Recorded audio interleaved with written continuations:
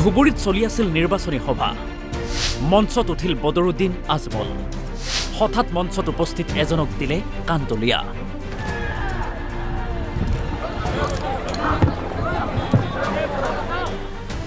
তৃতীয় পৰ্যায়ৰ লোকসভা নিৰ্বাচনৰ বাবে চলিছে হাই ভল্টেজ প্ৰচাৰ অভিযান।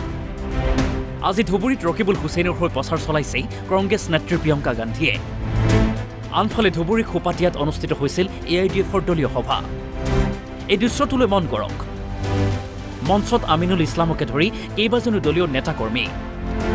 এনেতে মঞ্চলৈ উঠি আহে বদৰুদ্দিন আজমল কিন্তু আজমলে নিজৰ বাবে নিৰ্ধাৰিত কৰি থোৱা আসনত নবহি মঞ্চৰ এটাফালে থকা বগা চাৰ্ট পৰিহিত এজন যুৱকৰ ওচৰলৈ যায়। আৰু কোনো সোধপোছ নকৰাকৈ এটা কাণতলীয়া স্বৰ সোধাই খঙাল হৈ পৰে বদৰুদ্দিন আজমল।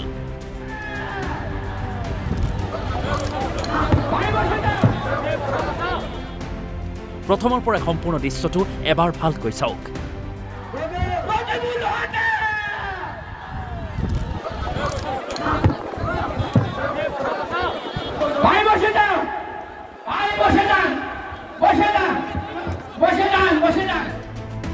দলীয় সভাৰ মঞ্চত অৰ্থাৎ হাজাৰ হাজাৰ ৰাইজৰ সন্মুখত এজন জনপ্ৰতিনিধিয়ে এনেদৰে স্বৰ সোধোৱাক লৈ চৌদিশে তীব্ৰ প্ৰতিক্ৰিয়াৰ সৃষ্টি হৈছে।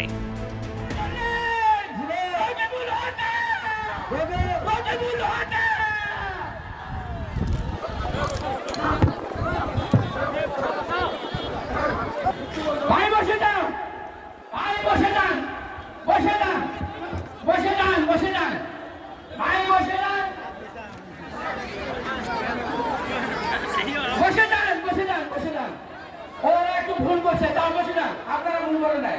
বসে যান ভাই। রকিবুল হাটা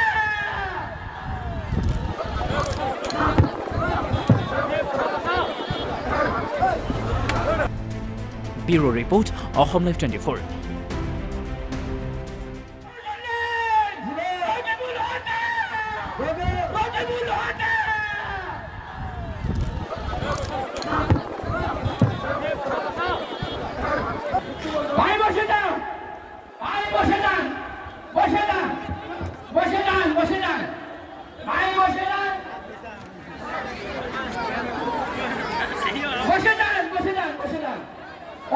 ভুল করছে তাও বসে যান আপনারা ভুল করেন নাই বসে যান ভাই। হাটা